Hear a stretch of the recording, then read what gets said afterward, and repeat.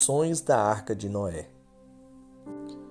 Pode ser que você nunca tenha lido o relato bíblico, mas já deve ter escutado acerca de um grande dilúvio e da Arca de Noé. Segundo Gênesis capítulo 6, Deus olhou para o mundo e viu que estava cheio de pecado, pois todas as pessoas só faziam coisas más. Havia violência por toda parte. Diante desse cenário, ele disse a Noé que iria mandar um dilúvio para cobrir a terra, a fim de destruir tudo que tinha vida. Noé era um homem íntegro e obediente a Deus. Portanto, Deus queria poupar sua vida.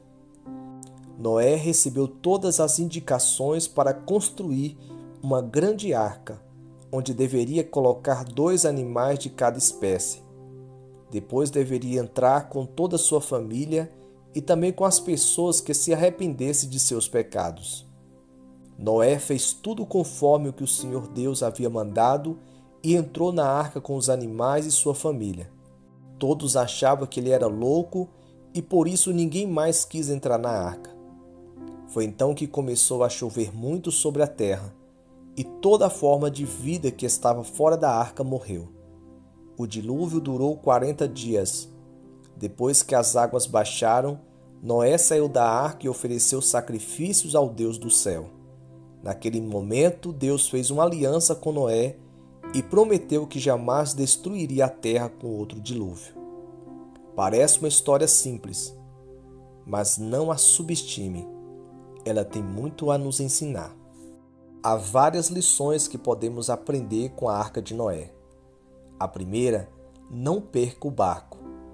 Cada oportunidade pode ser única em nossas vidas. Segundo, planeje para o futuro. Não estava chovendo quando Noé construiu a arca. Não podemos adivinhar o futuro. Precisamos aprender a ouvir e a confiar em Deus. Em terceiro lugar, mantenha-se em forma. Noé tinha perto de 80 anos quando Deus escalou. Em quarto lugar, se Deus te escalou, não dê ouvido a críticas. Todos zombavam de Noé por estar construindo um barco no meio do deserto. Não dê ouvido aos críticos. Apenas continue a fazer o trabalho que precisa ser feito. Em quinto lugar, mantenha-se fiel ao projeto de Deus. Deus mesmo desenhou a arca e deu o projeto a Noé. E a arca resistiu a um dos maiores fenômenos meteorológicos da Terra. Lembre-se, a arca foi construída por amadores, o Titanic por profissionais.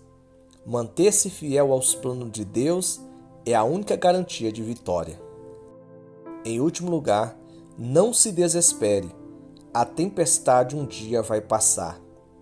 Quando menos você esperar, um belo arco-íris irá aparecer na sua frente, rompendo os dias de escuridão. É o sinal de Deus que tudo vai melhorar. João capítulo 16, 33 diz: No mundo tereis tribulações, mas tem de bom ânimo, eu venci o mundo.